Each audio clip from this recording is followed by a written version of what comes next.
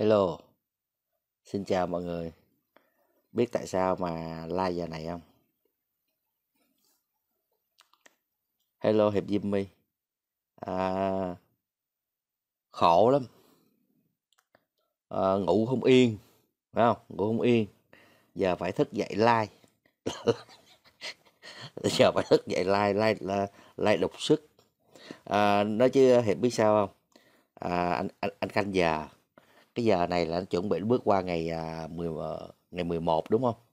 Ngày 11 đúng không? Ngày 11 là như là Hiệp với ờ, Quanh nhớ là à, mấy bữa nay trên không gian mạng rêu rao cái gì biết không? Nhớ không? Là cái à, cái thằng là tổ chức Việt Tân đó, đúng không? Nó sẽ um, trao cái giải gì? Trao gọi là trao cái giải thưởng nhân quyền đúng không? Cái giải thưởng nhân nhân nhân nhân quyền không biết nhân què gì đó. Thì um, anh canh đúng cái giờ này. Anh làm cái món quà anh tặng ngược lại cho tổ chức Việt Tân cái giải thưởng nhân quyền à được không? Chơi vậy được không? Đó và cái hình anh để trên cái màn hình chào Huy. Cái mà cái hình mà anh để trên màn ảnh là hình gì là mọi người nhìn ra đúng không? Đây là cái vụ ám sát tổng thống John Kennedy đúng không? Thì đó thì hôm nay chủ yếu là cái like đột xuất này. Anh sẽ làm làm hai à, anh sẽ chia sẻ hai cái bài viết. Hai cái bài viết của chú Phạm Tiến Khoa. À, nó liên quan tới à, cái vấn đề gọi là à, nhân quyền gì đó ha nhân quyền của cái xứ vĩ đại gì đó. Mà những cái tổ chức à, gồm những thành phần lưu vong vong nô nó tôn thờ đó. Và nó mang cái điều đó để nó đi nó rêu rao nó mị dân nó trao giải này trao giải kia. Thân phận tụi nó thì lưu vong. Mà nó để trao này giải này trao giải kia thì à, mình là nước chủ nhà mà đúng không à, mọi người? Thì mình cũng nên đáp lễ lại ha. Cũng tặng lại cho tổ chức Việt Tân hay những cái tổ chức à, phản động chống phá đó. Cũng nên trao cho họ một cái giải nhân quyền nhân cái ngày hôm nay là ngày nhân quyền mà đúng không ạ? Ok. À, để trước khi vào vấn đề thì thưa quan sẽ xin đọc hai cái bài viết đó à, coi như là hai món quà ha. Hai món quà là trao giải thưởng nhân quyền cho những cái tổ chức đó.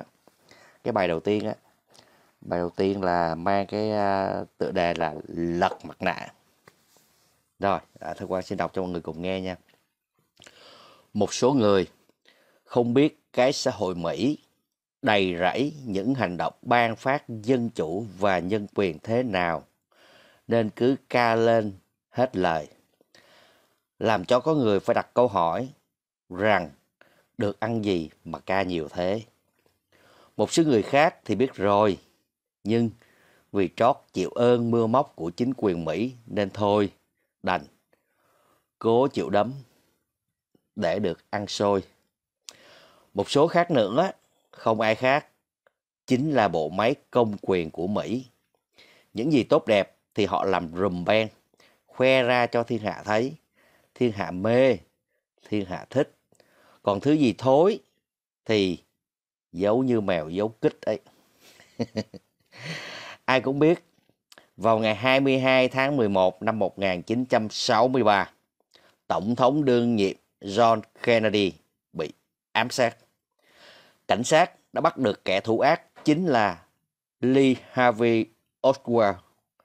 Đó là thông tin mà cảnh sát cung cấp cho báo chí và cũng từ đó cái tên Lee Harvey Oswald được nhắc đến nhiều lần. Song cũng không ít người biết rằng tên sát nhân này làm theo lệnh của ai. Làm theo lệnh của vật mật vụ Mỹ đó. Có tin được không? Ngoài Lee Harvey Oswald thì còn một vài con dê tế thần khác như Thomas Arthur Valley, Gilberto Lopez. Vậy, vì sao người ta lại giết John Kennedy? Có phải vì tranh giành quyền lực không? Thưa không. Đó là cái kết và tình trạng mâu thuẫn giữa John Kennedy với giới thượng lưu chính trị. Nói đúng ra là cái chết của một con bồ câu trước những con diều hâu. Những con diều hâu là ai? Là những nhà tài phiệt về công nghiệp quốc phòng mà trước nay ta hay gọi là những tên lái súng. Vào một ngày trong tháng 6 năm 1963, John Kennedy đã đưa ra tầm nhìn về một chính sách đối ngoại hòa bình. John Kennedy muốn thúc đẩy việc chống chủ nghĩa thực dân, bình thường hóa quan hệ với Cuba, không lặp lại sai lầm ở Việt Nam như người Pháp, tìm kiếm các biện pháp làm giảm sự căng thẳng với Liên Xô, bao gồm cả việc thống nhất các lực lượng quốc tế trong cuộc chạy đua vào vũ trụ. Tất cả ý định đó của ngài John Kennedy đã trái ngược hoàn toàn với Bộ Quốc phòng Mỹ, tức các con diều hâu ngồi trong lầu năm góc. Ở đây, người ta toan tính những âm mưu khác như các biện pháp loại bỏ ông Lumumba của Congo, xúi dục một cuộc đảo chính quân sự ở Pháp, tổ chức cuộc xâm lược Cuba từ vịnh Con Lợn để xâm lược Cuba. Người ta dự tính sẽ tiến hành chiến dịch Northwood, dùng máy bay MiG của Liên Xô ném bom giết công dân Mỹ, rồi đổ tội cho Cuba. Lấy cơ đó để xâm lược Cuba cũng giống như họ dựng lên sự kiện Vịnh Bắc Bộ để đánh phá miền Bắc nước ta. Còn ở chiến trường Việt Nam, Lầu Năm Góc chủ trương theo leo thang chiến tranh hơn nữa. Hai nhân vật đứng đầu hai nước là đồng minh của nhau đều bị giết chết vào tháng 11 năm 1963. Đó là Ngô Đình Diệm của Nam Việt Nam vào ngày 3 tháng 11 và John Kennedy của nước Mỹ vào ngày 22 tháng 11. Không biết hai sự kiện này có liên quan gì với nhau không? Có lẽ chờ các tài liệu giải mật từ nước Mỹ. Tuy nhiên, chúng ta có thể thấy ngay rằng một khi có ai đó đã không làm vừa lòng một thế lực vừa mạnh mẽ vừa tàn bạo đang ngự trị ở nước Mỹ thì cái chết là khó tránh khỏi. Chiếc mặt nạ dân chủ và nhân quyền thỉnh thoảng bị rơi xuống như vậy. Xong, những con diều hâu ở Mỹ lại vội vã đeo cho mình cái mặt nạ khác. Và một khi cần cho một mục đích chính trị nào đó thì hy sinh cả những người dân Mỹ cũng chẳng phải chuyện gì lớn lao và khó nghĩ. và để viết được bài này, um, tác giả đã uh, mới um, mới kết luận thế này mọi người để viết được bài này tôi chân thành cảm ơn anh Hồ Ngọc Thắng Việt Kiều ở Đức đã cho tôi đọc bản dịch của một bài báo từ Đức là từ nước Đức đó. À, rồi à, bác Khoa mới dịch ra. À, và tại sao thì đây là cái bài đầu tiên à, thơ quan muốn à, à, chia sẻ à, là cũng là một cái món quà gì đó dành cho à, những cái tổ chức chống phá và cụ thể là Việt Tân đúng không ạ? Và chúng ta cho rằng đó là một cái giải thưởng nhân quyền dành cho họ. À, để mong muốn một điều rằng là họ nên học lại. Họ nên học họ nên học lại và nên tìm hiểu kỹ lại như thế nào mới là dân chủ nhân quyền. Nha à, còn nói về dân chủ nhân quyền ở Việt Nam á nó quá thừa rồi nó quá dư thừa rồi. Đúng không mọi người? À, một cái câu nói bất hủ à, trong cái à, chúng ta nhớ cái lịch sử ngoại giao của bác Lê Đức Thọ và bác Nguyễn Thị Bình đúng không? Khẳng định ngay và luôn các ông không đủ tư cách đề cập nhân quyền đối với đất nước Việt Nam chúng tôi. Bởi vì năm ông trong hội đồng bảo an Liên Hợp Quốc vào thời điểm đó, hết ba ông, ha, ít nhất là hết ba ông đã mang quân đến xâm lược nước Việt Nam chúng tôi, thì các ông lấy tư cách gì? Các ông kêu gọi hai cái chữ nhân quyền ở đất nước Việt Nam chúng tôi, đúng không ạ? À, và mọi người cũng biết rằng à, suốt chiều dài lịch sử thì họ luôn đã phá với Việt Nam. Họ cho rằng con người Việt Nam người dân Việt Nam không có dân chủ nhân quyền. Thế này thế nọ các cái các thứ để đánh phá đúng không?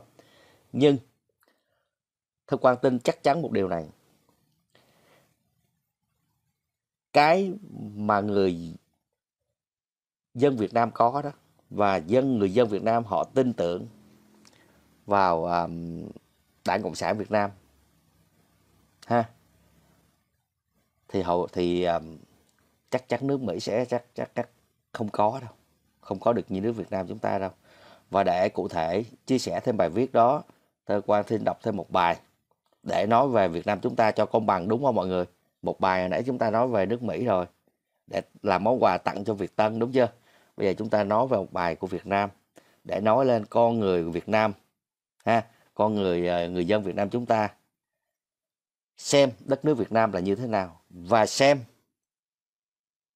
Đảng Cộng sản Việt Nam ra sao qua một cái câu chuyện chia sẻ của một công dân nước Cộng hòa xã hội chủ nghĩa Việt Nam thì chúng ta sẽ thấy rõ.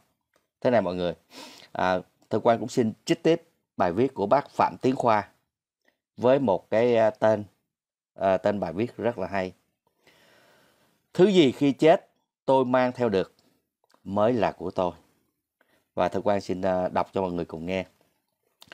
Xin nhắc lại một lần nữa rằng tôi là một người rất cực đoan. Có bạn hỏi tôi rằng sao tôi không có những phản ứng nào đáng kể mỗi khi có những sự kiện xảy ra trong đời. Dù cho đó là những sự kiện vui hay buồn. Tôi không trả lời vì tôi nghĩ tất cả những thứ đó không phải là tự thân trong con người tôi. Nó xảy ra bên ngoài nên tôi không biết phản ứng như thế nào. Có bạn lại hỏi, tại sao tôi không phải là đảng viên mà tôi lại cứ viết bài binh vực chế độ này thế? Tôi cũng không trả lời bạn ấy. Bất kỳ ai làm ơn cho mình dù nhỏ cũng đừng nên cũng đừng nên quên trả ơn.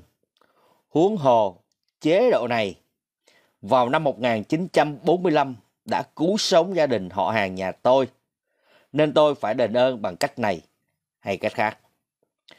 Và cũng vì tôi là một người rất cực đoan. Một khi đã tin vào một điều gì đó, thì tôi tin nó suốt đời. Tuy nhiên, tôi tin một cách có phân tích.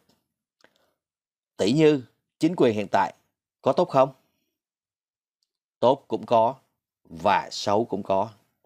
Nhưng, tốt là bản chất. Còn những điều xấu hoặc chưa tốt là hiện tượng xảy ra trong mỗi giai đoạn lịch sử. Một bạn khác đưa tôi coi một vật rồi hỏi tôi có thích không. Tôi bảo vật đó không phải của tôi nên tôi không có quyền thích hay không thích. Vậy, thứ gì là của tôi? Đó, đó là những thứ mà tôi có thể mang theo được khi từ bỏ thế giới này thì đó đích thực là của tôi. Ngoài ra, chẳng có gì đáng giá cả. Vậy tôi sống để làm gì? Bởi cha mẹ tôi sinh ra tôi thì tôi phải có trách nhiệm giữ gìn. Đừng làm hư hỏng sản phẩm của các cụ, kể cả về mặt thể xác và tinh thần. Cho nên, vẫn phải ăn, xong đừng quá coi trọng miếng ăn. Cũng phải chơi, xong chơi thế nào để không bị chê trách. Nếu như bạn bảo đó là triết lý sống của tôi, thì có lẽ đúng như vậy. Tôi sống theo bản năng, chứ không chú tâm xây dựng triết lý sống cho mình. Và cũng nói với các bạn một cách thành thật rằng tôi chỉ nhận ra và sống với cách sống đó một khi đã bước vào tuổi già. Cảm ơn bạn đọc đã đọc bài viết của tôi. À, và thật quan cũng ờ, xin cảm ơn ờ, chú Phạm Tiến Khoa à, đã mượn hai bài viết của chú Phạm Tiến Khoa để um, chia sẻ với mọi người. À, qua nội dung hai bài viết đó cũng giúp mọi người à, thưa quan tin rằng giúp mọi người có một cái ánh nhìn nó rõ nét hơn à, về cái um, khái niệm uh, dân chủ nhân quyền ở Việt Nam ra sao. Đúng không mọi người? Ở đây thưa quan với mọi người có thể khẳng định với nhau được rằng uh, người dân Việt Nam đúng không ạ? Ừ, rõ ràng đất nước chúng ta là một đất nước đang phát triển, đang trong quá trình hội nhập. Uh, nó còn thế này thế kia là cái chuyện nó hoàn toàn bình thường. Đúng không ạ? Uh, đâu đó thì chúng ta cũng thấy có những cái uh, cái vấn đề nó nó còn bất cập và nó còn tồn tại.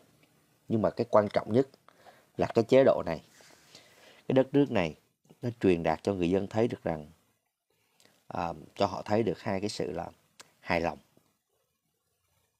Nó hài lòng và họ cảm thấy họ yên tâm đúng không mọi người? Họ thấy họ họ cảm thấy họ yên tâm. À, một đất nước được um, được họ gìn giữ một cái chế độ nó ổn định về chính trị và nó đang phát triển về kinh tế rất là mạnh. Và đặc biệt nữa một sự thật mà phải nói luôn không thể chối cãi được là cái sự ảnh hưởng của Việt Nam chúng ta trên chính trường thế giới hiện tại rất cao rất cao. Đó là cái gì? Thì đó có phải là thành quả do đảng cộng sản họ mang lại không? Đúng không mọi người? Không riêng gì người dân trong nước họ thừa nhận mà các nước trên thế giới họ cũng phải thừa nhận bằng chứng là họ luôn đề cập um, Việt Nam chúng ta vào những cái vai trò cái vai trò um, trên chính trường quốc tế rất là lớn đúng không ạ? Ngoài Liên Hợp Quốc rồi khu vực uh, Đông Nam Á thậm chí về cái mặt um, ngoại giao các nước luôn coi trọng Việt Nam. Mặc dù đất nước chúng ta là một đất nước nhỏ bé kinh tế còn thua xa họ để đạt được điều đó, thì mọi người biết đi, đâu phải một chuyện đơn giản đâu, đúng không? Đúng không? Đâu phải một chuyện đơn giản. Là một ờ, kể cả một cái chúng ta phải nói cho nó rõ ra. Đó là cái sự phối hợp hài hòa và lãnh đạo. Rất là tài tình. Và biết chăm lo cho người dân. Biết chú trọng đến cuộc sống của người dân. Biết lo từ miếng cơm manh áo cho người dân để họ yên tâm. Rõ ràng đúng không mọi người? Có quốc gia nào được như vậy không? À, một nước mỹ một đất nước mỹ một um, cường quốc. Đúng không ạ? Rất là giàu có đó. Số một kinh tế số một số hai thế giới đó. Nhưng mà mọi người nhìn xem là thực trạng xã hội của họ thì người dân cái gọi là cái mức sống đó nó nó hài hòa nó tương đồng với nhau nó có không? Thì đó đó là cái gì? Đó là nhân quyền của Việt Nam đó. Đó là dân chủ của Việt Nam đó. À, cho nên là mấy cái ông tổ chức lưu vong muốn cái gì? Mọi người thấy tức cười không? Trong khi thân phận thì lưu vong là một tổ chức khủng bố à, sống à, nương nhờ nơi những quốc gia khác.